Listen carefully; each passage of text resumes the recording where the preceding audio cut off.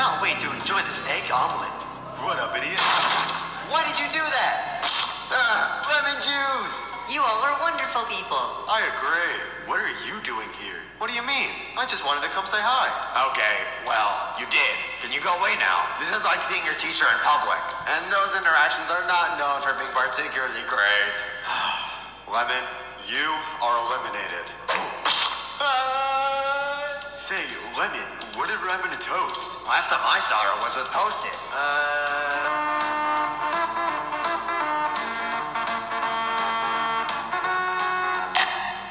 What a banger. hey everyone, look at this note. Hello, you four.